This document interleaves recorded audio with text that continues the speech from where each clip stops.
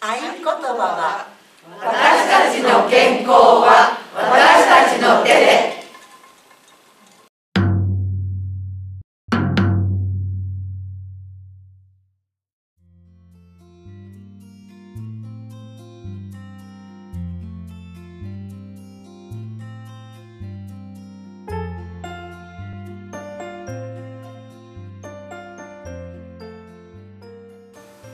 本郷地区ではお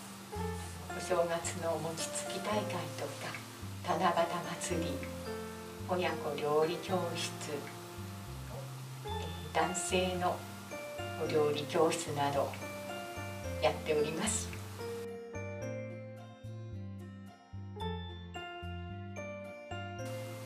私が民生委員を終わった後に何か健康教室のようなお誘いがあってそこで学んでるうちに食会を知り少しでも毎日の生活の中に何か新しいものを取り入れることができたらと思って入らせていただきました。一番印象に残っているのはかば焼きの缶詰を使ったお料理です。なんか高齢化社会を迎えてお魚をいちいちさばいてお料理するのはでも缶詰を使ってそこに季節の野菜を取り入れて目先を変えた栄養価もあって美味しいものができるっていうことに感激いたしました。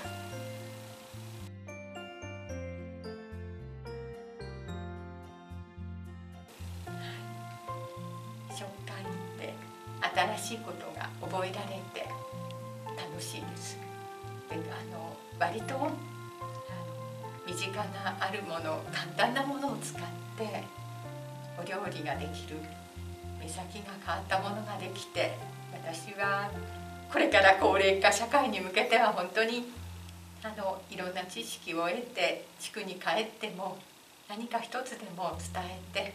みんなで健康に明るく元気に暮らせたらなと思っております。皆さんも一緒に紹介活動お入りになりませんか？よろしくお願いいたします。